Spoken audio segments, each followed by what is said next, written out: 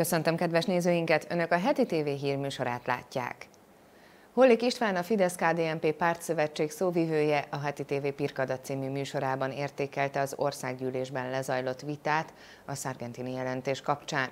Hollik István hozzátette, az ellenzéki képviselők egyértelműen kiálltak a szargentini jelentés mellett, sőt voltak olyanok is, akik szerint Szargentini asszony túl óvatosan fogalmazott jelentésében, a kormánypárti politikusok, szerint ezzel ellentétben ez a jelentés egy hazugságáradat, aminek nincs más célja, mint a bevándorlás ellenes Magyarországot rákényszeríteni arra, hogy az álláspontját adja fel, ám a kormány ezt nem teszi meg.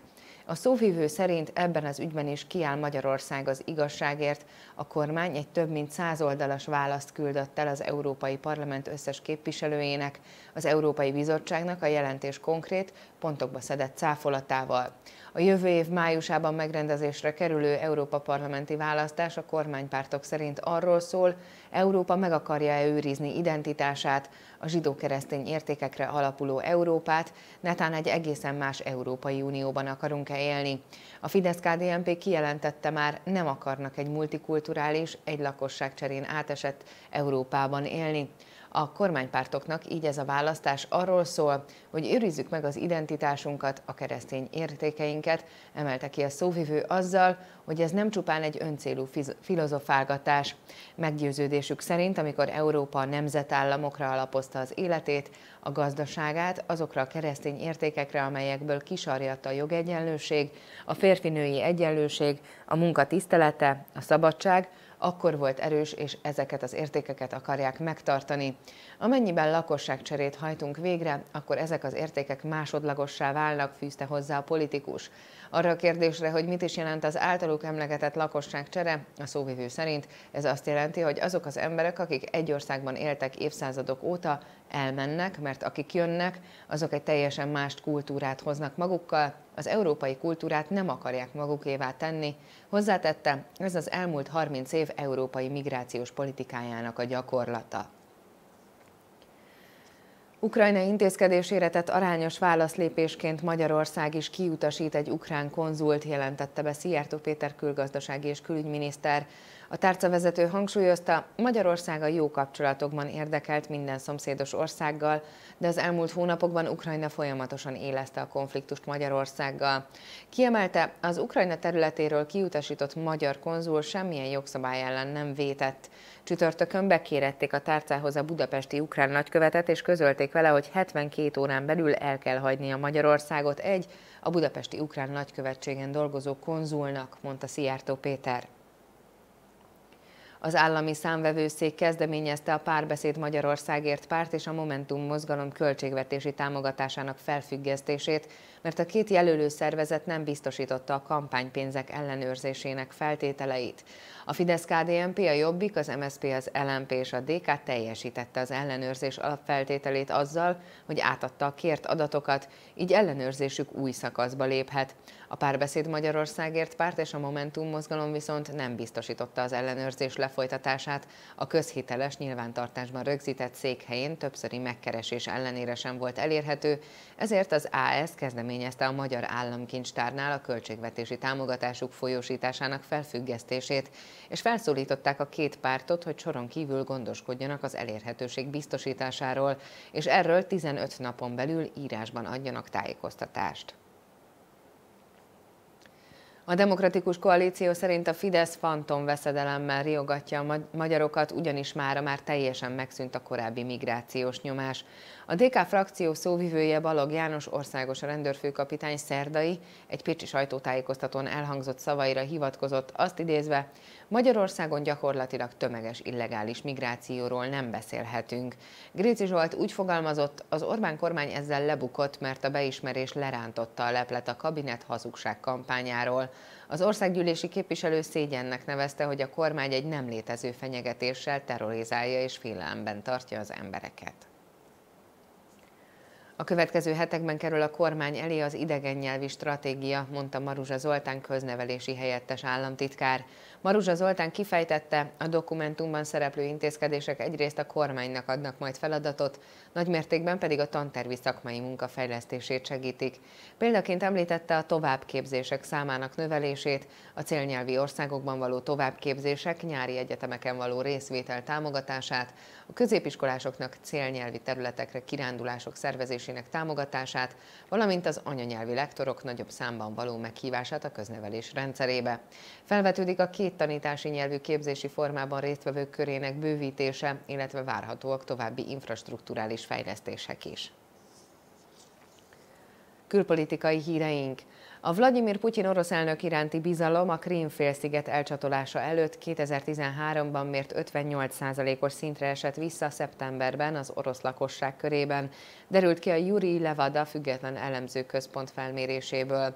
Putyin elnöki tevékenységét a megkérdezettek 33%-a nem helyeselte, ami a legmagasabb érték 2014. januárja óta. A helyeslők aránya 67%.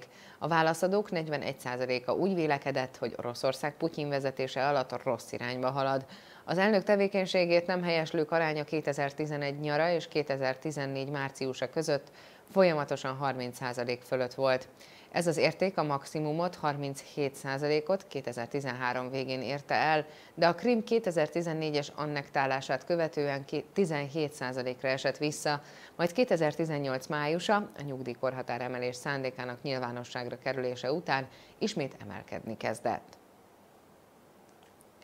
Dánia 2018-ban sem fogad be menekülteket az ENSZ menekültügyi főbizottságá, főbizottságának programja keretében, jelezte Inger Stoiber külügyekért és integrációért felelős Dán miniszter.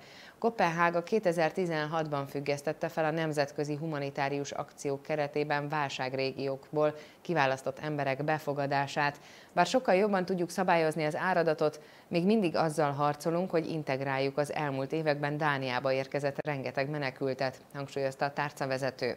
1989 óta Dánia évente mintegy 500 menekültet fogadott be az UNHCR programja keretében. A Dán parlament tavaly úgy rendelkezett, hogy a jövőben a külügyekért és integrációért felelős miniszter hatásköre lesz dönteni arról, hány ENSZ menekültet vesz át az ország. Tarthatatlannak nevezte a rövid és közepes hatótávolságú rakéták felszámolásáról szóló szerződés Oroszország általi megsértését James Mattis, amerikai védelmi miniszter Brüsszelben. Hozzátéve, hogy amennyiben Moszkva nem változtat, az Egyesült Államok is kénytelen lesz hasonló képességeket kifejleszteni. Oroszországnak vissza kell térnie a szárazföldi állomásoztatású rövid és közepes hatótávolságú rakéták felszámolásáról 1987-ben megkötött szerződés előírásaihoz. Máskülönben az Egyesült Államoknak is hasonlóan kell cselekednie az ország és a NATO védelmében, hangsúlyozta a tárcavezető. Semmi kétség, hogy Oroszország kirívó szerződés szegésével a jelenlegi helyzet tarthatatlan, fogalmazott aláhúzva, hogy mérlegelik a diplomáciai és a katonai válasz lehetőségeket. Nem akar több háborút Izraellel Yahya Sinwar, a gázai övezetet uraló radikális iszlamista Hamas szervezet vezetője. Sinwar 22 évet töltött terrorcselekményekért izraeli börtönökben, és 7 évvel ezelőtt Gilad Shalit, Shalit tizedes fogolycseréjével került szabadlábra, majd jutott vezető tisztségekbe a Hamasba. Senkinek sem áll érdekében egy újabb háború, ki akar csúzdival szembeszállni egy nukleáris szuperhatalommal. A háború semmit sem ér el, kifejt fejtette ki Sinuár, hozzátéve, hogy jelenleg esélyt lát a változásra. Egy terrorista molotov koktéllal dobálta a palesztin hatóság irányítása alatt álló Kalkiliában razziázó izraeli csapatokat. A katonák válaszul tüzet nyitottak a támadóra. A sérült terroristát a katonák elsősegében részesítették a helyszínen. A támadó átkutatása során a csapatok robbanó szerkezeteket és további molotov koktélokat találtak. Izraeli sérültje nincs az incidensnek. Különálló eseményként az izraeli védelmi erők a Simbét biztonsági ügynökséggel és az izraeli rendőrség együttműködve letartóztatott 13 szemét Judea és Szamáriában, akiket terrorista tevékenységekért, valamint izraeli civilek és katonáik elleni erőszakos tüntetéseken való részvétellel gyanúsítanak. Gazdasági híreink. Magyarország tőke megtartó képessége a legerősebb a régióban, mondta Nagy Márton, a Magyar Nemzeti Bank alelnöke. A világmértékben szigorodó monetáris politikák és a feltörekvő piaci turbulencia hatására megindult a kötvénypiaci átrendeződés.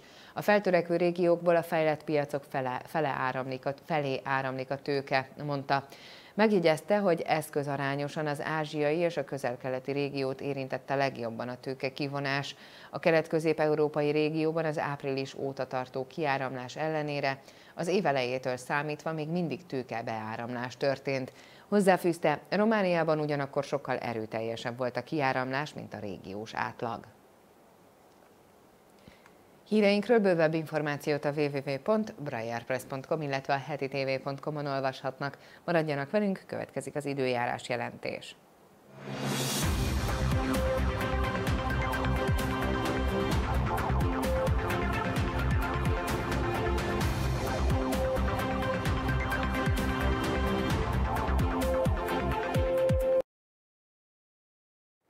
Szombaton keleten derült marad az ég, máshol délnyugat felől fátyol felhők, este felé a nyugati délnyugati tájak felé vastagabb felhők érkeznek, és akkor ott helyenként egy-egy zápor is kialakulhat.